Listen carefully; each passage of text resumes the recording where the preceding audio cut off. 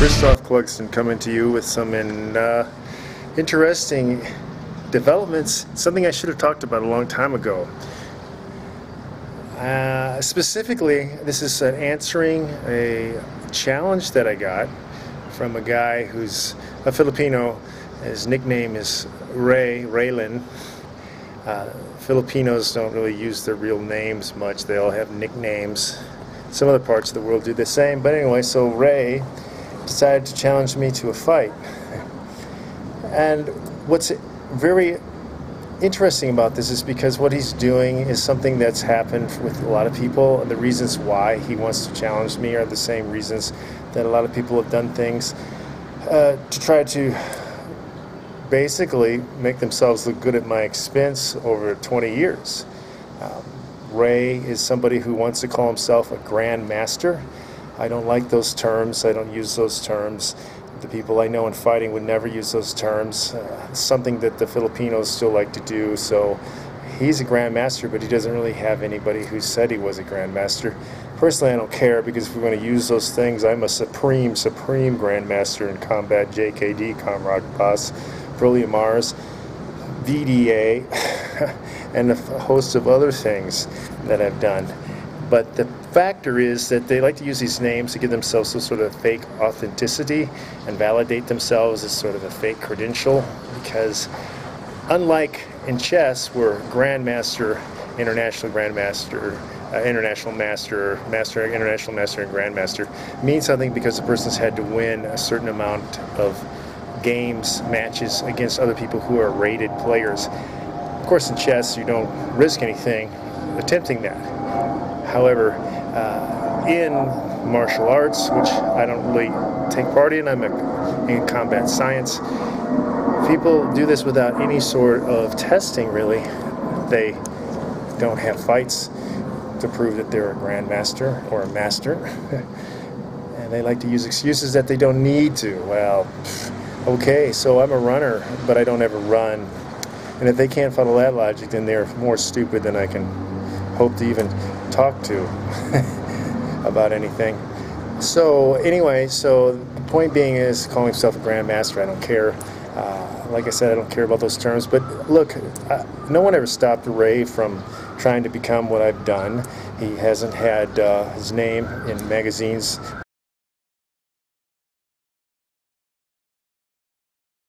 around the world. He hasn't been featured in Black Belt, Karate International, and several other magazines. He hasn't had interviews in France. He hasn't had interviews in Spain on TV. He hasn't been on TV in Canada. He hasn't done uh, interviews for newspapers in the United States and Canada and Costa Rica.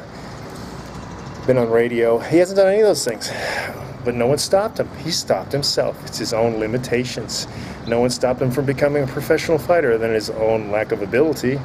I've fought 75 times on three continents, won belts He's rated number one in the world in shoot boxing at one period of time. So I've accomplished quite a bit. I've also been a pioneer, revolutionized the self-defense world, and was the number one sale, still am, for a company. I won't mention them. Out of California, you can easily find out who if you want to look and I've pioneered uh, lots of technologies that have saved people's lives. I've gotten testimonials from around the world. Ray never has. Ray hasn't done any of these things, but it's just using Ray is just an illustration of other people who've basically taken my stuff, tried to pass it off as their own. People teaching my things, they've stolen it from uh, seminars. They think they can come in and uh, go to a seminar and then teach their students, although I haven't given them any authority to teach. Uh, also, people have gotten my DVDs. Some people have pirated certain amounts of that. That's a lot of money. My R&D. This is uh, for a lot of people. This stuff is a hobby, but for me, it's my profession. It's what I do. So let me come down to your job and destroy your work, okay? And then pawn it off as my own. Would be like trying to steal things from Microsoft. They take a dim view of that, and so do I. Anyway, so no one ever stopped Ray from creating his own material and doing something, becoming somebody, helping people around the world. That's Ray's own limitations. so uh, he is, like I said, indicative of many people over 20 years who've tried to watch my stuff, and then pawn it off as their own. One, two, talk as if they're experts, although they don't have any credentials. They don't have. They haven't fought. They haven't fought in the street. They haven't fought in the ring. They haven't done anything. Uh, they had some people have had two or three amateur fights as if that's a career. It's not a career. It's a start, and it doesn't mean anything. Uh, lots of people I can mention name wise, but that would just be helping them out, I think, on their publicity. So I don't need to say that they're detractors. That you know, the common name people want to use now for is hater, but I like to say they're detractors because it's really envy that they have. They don't have my creative ability. They're not a genius in the field. I am. There's not that many. You know, same thing Mozart had to deal with. And if you can't accept that fact, then you don't know. You haven't been to my seminars. You haven't had personal training because the people who have all will tell you, yeah, that's why I have testimonials to that fact. Now, anyway, let's just get back directly to Ray and his challenge. He said he would fight me anywhere, anytime, because he is uh, part of an organization. Uh, he's not part of an organization. He's he was trained by some people that he denies that he was trained by now, and he's trying to split off on his own faction. He trains tourists, uh, Boracay, and uh, he originally is from Cebu, but the point being is that he wants to legitimize himself as, as the next greatest person. And he's not. There's guys in Cebu that are better. To legitimize himself as the best person in this type of stick fighting, but he's not. There are people in Cebu that are better. Uh, he's disavowing the guy that taught him right now, and he's trying to align himself. It's a power move. It's Game of Thrones, you know. Uh, political stuff is always in martial arts.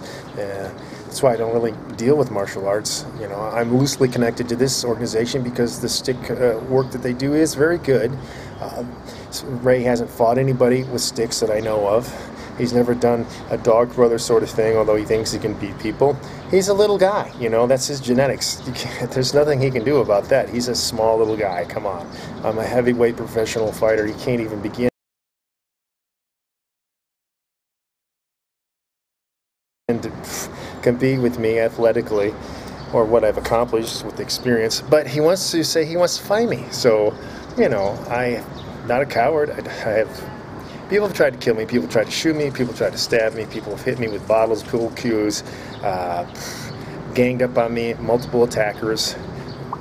Uh, lots of stuff that's not great.